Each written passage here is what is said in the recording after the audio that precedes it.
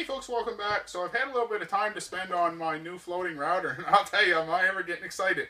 I've got a, you know, part of this thing, I've literally spent a little over an hour getting it this far, and I'm just blown away. So it is going to be a floor mount unit. I decided I'm not going to try to sit it up on a bench because um, I could just see it being too high up to work on, you know, to get the mechanism. So what I made is, I made it so that it's going to be comfortable to sit in a chair. You're going to, put, you're going to come up, you're going to pull this thing. It's going to still fit underneath a bench when you uh, when this gets pushed down. It'll still going to be able to slide underneath a bench, and then you'll just be able to come up and sit at it like I am right now and do your routering. So all I got right now is just my center box done.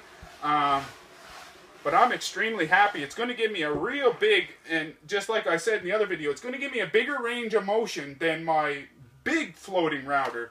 Um, this is going to give me about six inches by about a foot, so I'll be able to comfortably router on the end about a six inch by one foot uh, chunk of wood, which is, you know, just going to be great. One of my springs came unhooked here. Uh, I just got this thing just literally stuck together.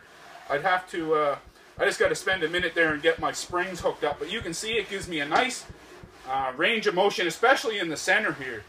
And, uh, you know, it was, I used a little bit different uh, mechanism too to make this happen. Something that's going to be even easier to build and uh, I think I've got a little better than a half a sheet of plywood into this so far and you can see that's I did just use three quarter inch birch plywood. Um, so if you haven't seen my floating router video uh, what I'm aiming to do is be able to take a 2x6 and be able to put it in one end of the machine. There's going to be a router mounted on a slide here. I'm going to be able to put it on one side of the machine and be able to, to uh, follow uh, have a copy pin on this side of the machine with a bearing that, you know, if I put this in this side, then on this side, if I put a blank, I'm just going to be able to, to router it and get it to come out. And uh, that's what that other machine did. But when I made it, I made it way too big. It's quite a big, bulky thing. You know, for example, on the other machine, I had a bunk come out the other side that was the same size as the outfeed, but I don't need it. I only need a little wee short piece. So this machine will only end up having just a little short piece where my templates will fit. And then on this side, I could have just, I'm going to probably do a fold down uh, table on this so that when I want to put it away, it's just going to fold down to this compact little unit here.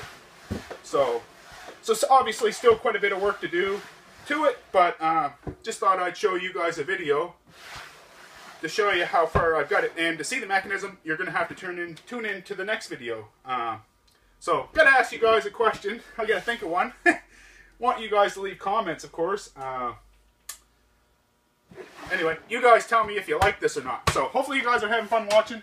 Hopefully you'll keep tuning in. And we'll see you next time.